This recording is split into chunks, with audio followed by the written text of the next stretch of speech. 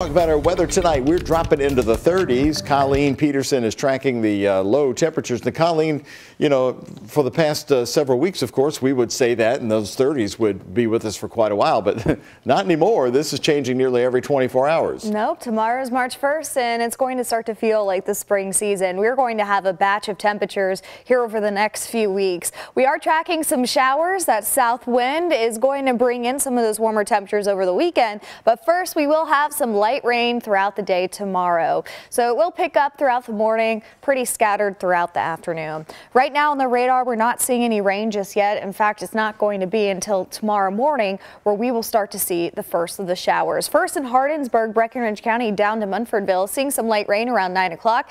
The difference from the early evening to right now is that timing did slow down a little bit. So bus stop looks mostly dry as of now. By the time you head towards the late morning, that's when that rain will start to enter. By 10 o'clock. That's when it will be over the metro, Shepherdsville, and down to Bardstown. As we head towards the afternoon, a few scattered lingering sprinkles out there, but overall it's going to be a hit or miss if you happen to see any rain by the time you head towards the afternoon hours. Temperatures will be starting out in the 30s, but then we'll be staying in the mid 40s because of those clouds and rain keeping our temperatures a little bit cooler out there. So not going to see the sunshine tomorrow, but then once we head towards Saturday morning after those sprinkles finally clear out, we'll see those clouds stick around temperatures in the 40s. And then by the time we head towards Saturday late afternoon by 5, 6 p.m., the forecast shows those clouds breaking. Now that may change, but as of now, we are seeing mostly cloudy the first half of Saturday, and then the second half, we'll start to see partly cloudy skies right before sunset.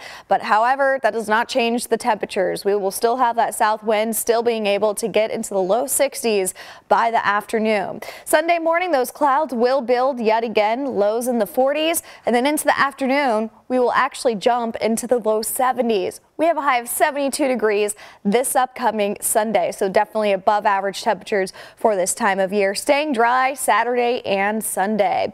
So with that rain tomorrow, we could pick up maybe a tenth of an inch. This is going to be very light sprinkles in that forecast tomorrow. So a tenth of an inch overall across town in some spots. Not going to be too much of measurable rain for this system and no thunderstorms, which is great. So we have some dark skies right now. Those clouds continuing to build. Right now, temperature of 28 in Scottsburg, 38 here in Louisville. So we just got out of the 40s here in downtown. Your lows tonight will be hovering in the upper 20s and low 30s. So it is still going to be chilly.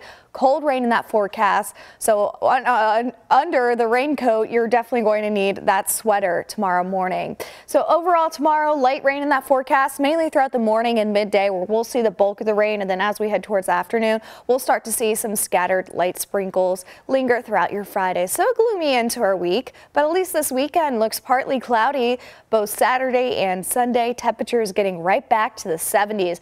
Let's talk about next week real quick. We have a high of 75 on Monday. It looks like an unsettled weather pattern. We are going to have off and on scattered showers, a front passing through on Tuesday, but we'll still have some lingering rain behind it, and it's not really going to cool down our temperatures all that much. Our average high is 52, and besides tomorrow, we'll be hovering above average by around 10 degrees. Doug?